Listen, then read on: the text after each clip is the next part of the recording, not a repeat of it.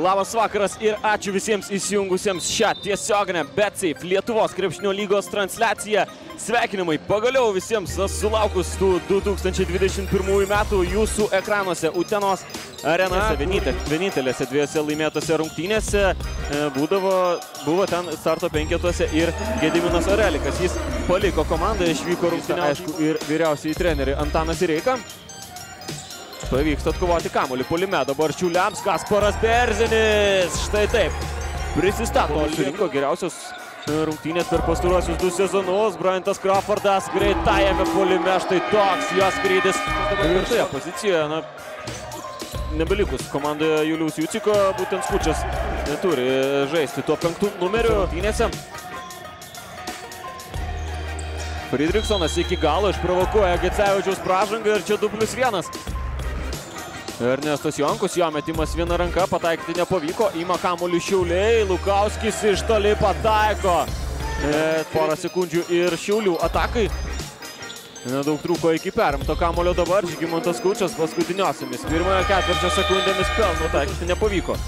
Nu, pirmajame kilinėje tikrai gerai tuos dvitaškius metė Šiaulių krepšininkai. Čia Gintauto Matulio, taiklus tritaškis buvo likęs ten su Ernestu Jonkumi. Kamulio įmesti nepavyko Skučiui komandos draugams. Greitai užpuola varžovų šelnės. Šį vakarą amerikietis tiesa pirmieji jo taškai antrame kilinėje. Perima kamulio Juventus. Greitoje atakoje Ignas Vaitkus. Pelno du taškus po... Martinas Gecevičius. Gera ten užtvara Mindaugo Kupšo. Jis krauna kamulį iš viršaus. 2 prieš 2 žaidžia. 11 turi Juventus. Ir dar vieną kamulį praranda čia šiauliečiai. Greitoje atakoje du lengvi Igno Vaitkaus taškai. Į pirmosios rungtynių dalies pabaigos.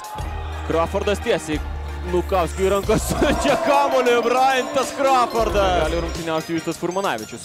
Jo nematėme nei pirmoje dalyje, jis net neregistruotas šio vakaro rungtynėms. O Vaidas Kariniauskas pirmoje rungtynių pusėje ir kaip Bryantas Crawfordas nuputė varžovo metimą, Eimantas Tankievičius. Dar šešios sekundės jų ves atakai.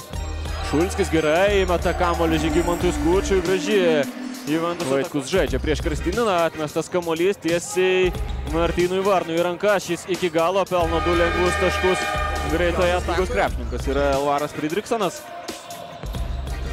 Štai taip lengvai apeina Vytauto Šulskio gynyba. Ja, perdavimas Lukauskiui greitai, išsimeta metimą Mindaugas Lukauskis ir pataiko. Tris taškai. Tas kamuolys Vaitkui. Skučas prieš Berzinį, apeina varžovą 2 plus 1. Iki galo netaiklus jo metimas. Į greitą ataką pasileidžia Juventus, Kariniauskas, jo perdavimas Skučui ir dar du Žygimantos Skučiui. Galbūt paskutinioji jau Juventus ataka šiose rungtynėse. Komandos draugai paragino Martyną Žvirblį mesti. Mesti taškų, ištiksi paskutinės sekundės. Finalinė rungtynių sirena skelbia, jog laimi šias rungtynės Utenos Juventus 96-82.